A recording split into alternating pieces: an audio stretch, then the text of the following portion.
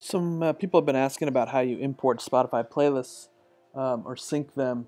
In earlier builds, we did have the ability to sync your Spotify playlists, although uh, it was uh, basically needed to be rewritten and abstracted so that we could support syncing playlists from lots of different services, not just Spotify. So we're working on that now. But in the meantime, probably the easiest way to move or import your Spotify playlists uh, is to basically just open Spotify grab uh, grab a playlist, um, whether it's one you created or somebody else's, and, and just oh, drop it in. And there we go.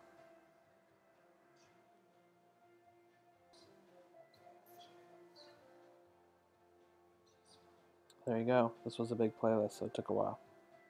But you can do that for all your playlists just one at a time. Um, whether it's your playlist or any other playlist in Spotify. So enjoy.